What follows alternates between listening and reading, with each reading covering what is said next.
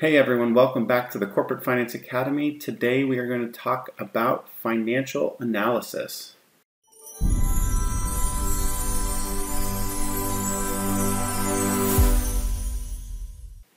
Okay, so this is going to be volume one of a few videos we're going to do on financial analysis. And we're really focused on if you're looking at this from an FP&A point of view, management accounting, how do you look at your company's data? How do you look at your results, sales data, cost data? How do we analyze it? So we're going to start off, we're going to go through how do we analyze data. We're going to talk about what we analyze. I'm going to go through 10, it's not all the tools, but 10 plus tools for analysis that you should or could be using.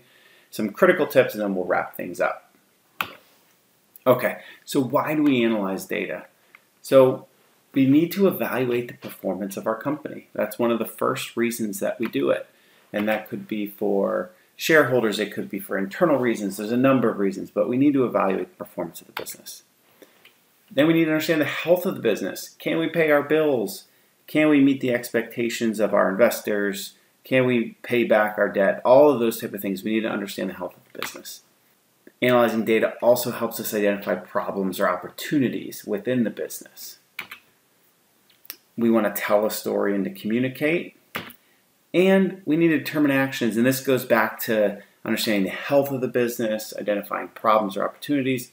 Ultimately, we're looking at this data. We really want to use it to drive action in the business or at least awareness in the business. It might not be time to take action yet, but action and awareness and insights is what we want to get. So, what do we actually analyze? So, let's talk through this. This isn't all inclusive, but we analyze our financial statements. And this could be your published financial statements for a public company, but this could also be a subset, a divisional financial statement, or something a little bit simpler. We look at competitor information. We want to see how we're doing against our competition, especially if it's a public company, that information is more readily available. We analyze customer information. We need to understand our customers and our clients. We analyze debt and liquidity. We analyze sales and volume data. We look at cost data. We go through our headcount, people information, and we analyze projects and initiatives. But then when you get a level more granular, you think about analyzing things like manufacturing locations or stores, depending on how you're set up, products, suppliers or vendors, a division or category or segment specifically. You might look at a specific time period, customer, or a region or location. And again, this isn't all inclusive, but you've got your kind of things that you're analyzing up top, your financial statements, sales data, cost data, people, debt, liquidity. And then below you've got the more granular, here's how you can slice and dice those that data a little bit better. So how to do analysis and this is really geared around, I call them tools here, but these are different cuts of analysis that you can do. Many of them you might be familiar with, and I'm not going to go into great detail on all these because this video series, we're going to have examples of how you do each of these. So we're going to hit all of these pretty high level. So the first one is simple variance analysis. Now this is, if you're in FP&A, management accounting, you've definitely done this before. This is the most basic. So this is how we measure variance in actuals versus prior year, measure our actuals versus budget versus a target or some other period. And you should be looking at this both on a dollar or whatever your local currency is, and also a percent basis. You know, are you up 10%? The dollars might be large, the percentage might be small, or vice versa. So you want to look at it always on a currency and a volume and a percentage basis. And I have a note in there. You also want to look things on volume basis because sometimes if you change your price, your sales line might not give you the full story if your business is growing or not. You want to look at volume. And what that means is if you sell cars, you don't want to just look at the sales line and say how much did you sell your cars for. You also want to see how many cars you sold. Because if you increase prices by 10% and your sales are up 5, that actually means your volume is probably down 5%. All right, number 2 is do it on a percentage of sales basis or a per unit basis. When you look at things at a relative size basis, like what percentage of your sales is your SG&A, that can be very informative. Because if you have one year where your sales go up 50% that's a huge driver, and you would expect your SG&A to come up as well. So that's that can tell you a lot versus just seeing SG&A up 25%. In a vacuum, you might say, wow, that's a problem. But when you know your sales are up 50%, you might not feel as bad about it. And similarly, on a per unit basis. So knowing what the actual cost is per vehicle or something like that can give you valuable insights into your business. Number three, drill down or double click. Uh, I also like to think about anomalies in this bucket, but go deeper in. This is where you go deeper into the data. So, a couple examples. One would be if you're looking at the cost per unit, you might actually try looking at cost per unit for each product because it might be might tell one story at the total level. But again, I'll use a car company example. Your cost per unit for an SUV versus a compact car or or an electric car might all be very different. And another example would be if you're looking at sales by product, go a level deeper, look at by product by region. You might start to see that a certain product sells better in some regions and really poorly in another. Number four, price volume mix. We have a separate video out there you can go find on price volume mix and how to do this, but this is where you analyze the respective impacts of price, volume, and mix on your sales. And if you're doing a profit walk, you would add cost into that. This is a kind of a traditional FP&A management accounting tool. Number five, metrics and ratios. This is a really big bucket and it depends a lot on the business you're in, the industry, and the size of your company. But you'll have relevant KPIs and financial ratios that might apply to you. These are things like EBITDA, gross margin percent, K, a CAGR, see what your compounded annual growth rate is. ROE, ROI, software companies are going to have, or SaaS companies are going to have things like LTV um, and average order value. And all companies are going to have things like your AR days or AR turnover, your AP days and turnover. This is a long list, but these metrics and ratios can help teach you about your business.